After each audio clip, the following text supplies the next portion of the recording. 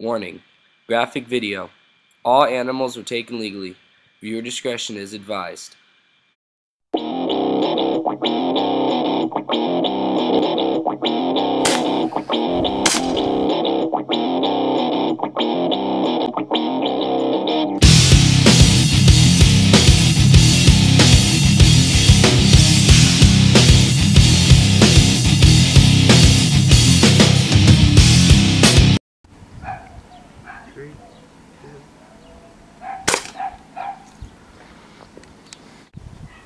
Hey guys, it's James. Uh, so we found this rabbit and um, kind of a little baby, I guess. We didn't, from far away, it looked bigger, so that's why we took the shot. Normally we wouldn't go for the baby ones, but just so happened this was. But I tried these new, uh, the Destroyer pellets from Crosman, and I mean, you can see the damage it did. These pellets are amazing, so pretty sure we're gonna start using these from now on. Um, this was from about, I would say maybe 20, 30 yards away, if that, maybe. So from 20, 30 yards, that's what you can expect with the destroyers. So we're gonna see if we can get some more now.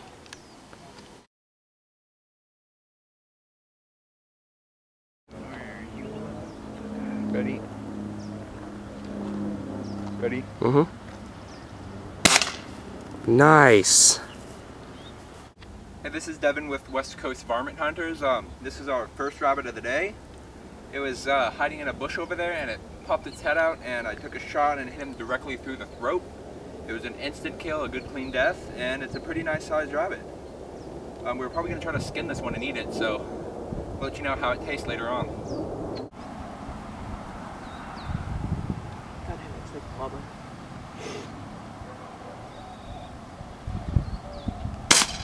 Nice. There we go, we got it. Awesome. Hey, it's Matt here. Uh, we were walking about 60 feet away from the, this area of bushes over here, and I just saw something, uh, a small movement in there, and I saw uh, little ears sticking up. Uh, was, uh, unlucky for him, but lucky for me. I don't, I don't know uh, how I saw it really, but uh, I took the shot. I was aiming like a little bit lower than the ears, but I guess I hit around the heart. Oh, like exactly the heart. It went down really fast. Like normally the legs kick, but it wasn't even kicking. So it was a very fast kill and uh, pretty decent size. Got it.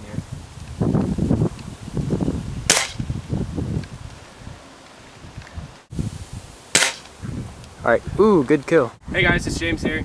So I got a rabbit finally. Um, first shot was right here, went through its organs and came out and it didn't die instantly.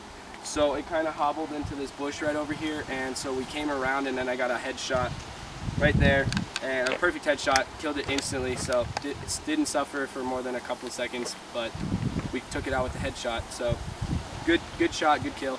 Um, so now we're gonna go get our three rabbits. We might see if we can get one on the way back. If not, we'll get the three rabbits and we're gonna gut them, skin them, and then cook them and show you guys how we do that. So stay tuned.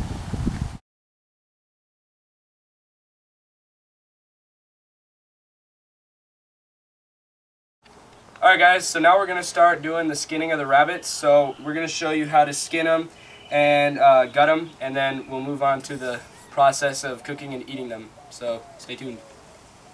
For skinning these rabbits, you could use a knife or straight up pull the skin off like this.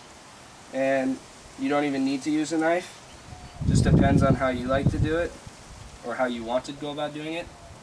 So yeah, basically what I'm to do is I'm just to, you just pinch right here and then pull down. So I'm to do that all the way up to here and then we'll come back and I'll show you what you need to do next. Now after you have pulled up all the fur, probably should get this part right here, but after you pull up all the fur and most of the skin, what you're to do is get right here and you pinch up on the skin end, a little, a little bit up on the skin to expose the internal organs and then just kind of be careful not to break it. You're gonna have a bad time. Yeah. Try and get your finger in there and just go like this. Alright. So then, after that is done, Alright, so after that's done, I should probably go up here a little bit more. What you're going to want to do, God, that smells horrible. So after that's done, then what you're going to do is cut down here, break the bone, the um, hip bone, like right about here, the pelvis bone. Yeah, pelvis bone, my bad. Pelvis bone right here, and then take out all the organs here, and then I'll show you what to do after that. After you get all of the guts out and um, uh, what you want to do is down here there's going to be, I think it's a tailbone, um, but it's this little thing that sticks out here. Basically just cut that off because it'll be a lot easier to get all the extra um, excrement out of there.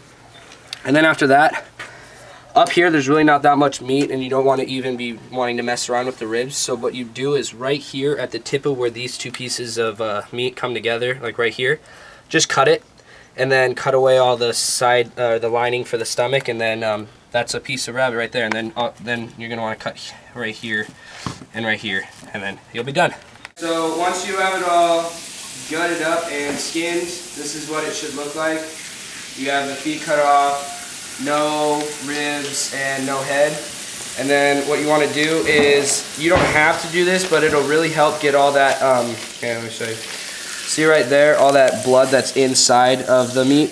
When you put salt in the bag, it will definitely help take all that out. And then you don't it'll, it'll just taste a lot better because that's what makes it gamey and stuff like that. Sorry. So yeah, just put a bunch of salt in there, let it sit for over 24 hours. And if you have like seasonings that you like that have like a lot of salt in it, you can use that too.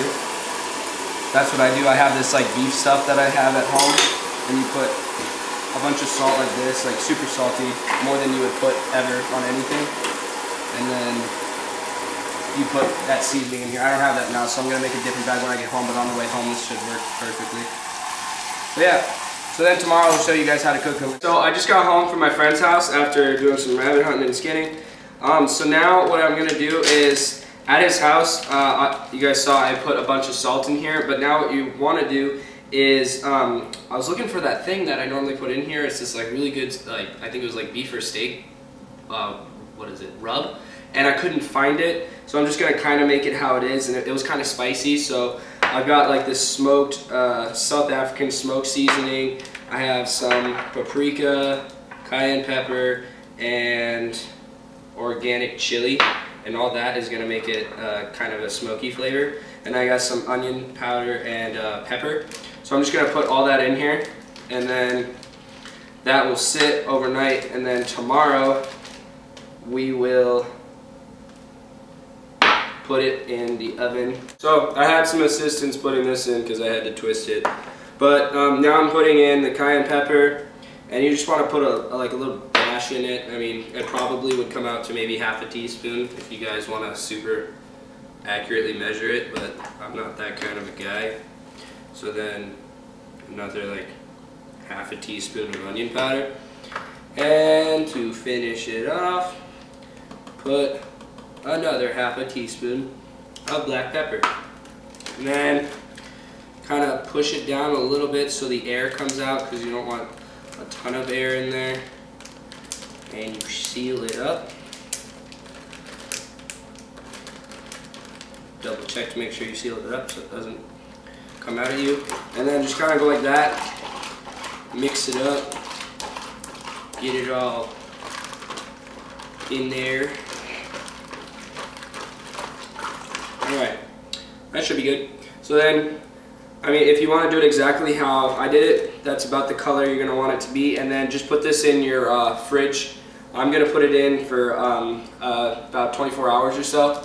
And then tomorrow we'll um, cook it up. Basically what you're doing is, is the salt in here is going to pull out all the extra um, blood that is still in the uh, meat and then it's also going to kind of tenderize it and then the added flavors will be kind of put into the meat itself. So for me we're doing it for 24 hours and then I'll show you guys how to cook it tomorrow. Uh, rabbits have been sitting in the mixture for over 24 hours now so um, we're going to take them out.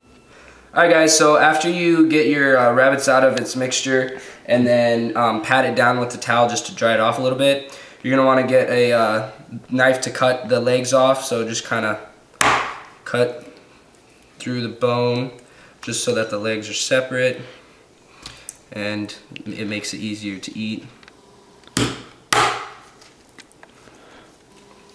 So you're just gonna do that for um, all of them. We only have two of them. We had like four of them, but like two of them we saw in the liver, they had spots and stuff, so we decided not to eat those. Didn't want to chance it. So we just have two that we can eat right now. So, alright. there. So then after you've cut them all up, you're just want to put a little bit of um, olive oil all over it and like that. And the um, bacon doesn't stick to it. So just put a little on.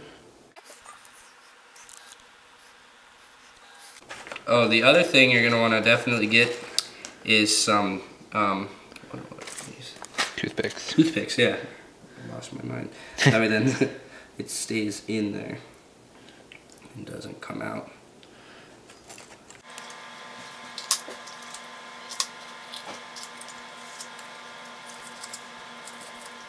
We're gonna do is just drizzle a little bit of olive oil, not too much, just enough to cover it. When we shake it up, maybe a two, five, six shakes of salt, and same with the pepper.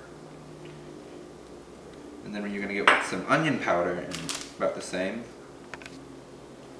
And what you're gonna do want to do is close up the bag. Just start shaking it up get a uh, spread all the salt, pepper, and other stuff in, around in there. Make sure it gets a, a good coating on all the pepper. Just like that. And what you're going to want to do is put it onto the vegetable cooker for the grill. You want to put tinfoil under it so none of the stuff falls off. Spread it around so it cooks evenly.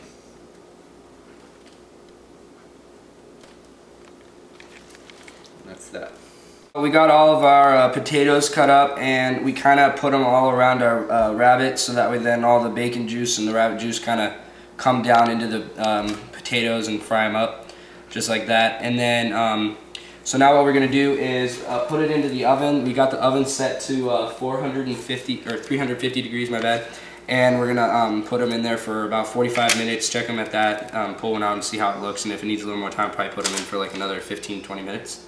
And then um, the uh, bell peppers will probably take about 10 to 15 minutes on the barbecue. So we'll just put them on there about halfway to about when it's almost gonna be ready for the rabbit. All right, so now we're gonna put it into the oven. And then, show you guys what's up.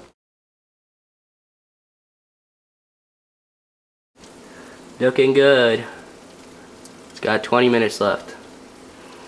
It's all sizzling and yummy. Yummy, yummy in my tummy. Alrighty.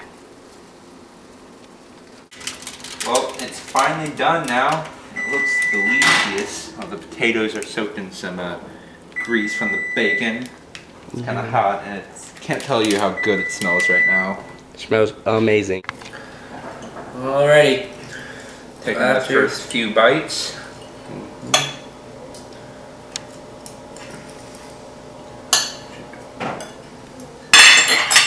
Screw this. well, that actually does taste good. Yep. It does taste a lot like chicken. Mm -hmm. and dove. It's like a mix between chicken and dove. That's great. The potatoes taste good. The peppers taste good. The rabbit tastes good. So for first time, I think this went pretty well. Mm hmm So, enjoy, guys.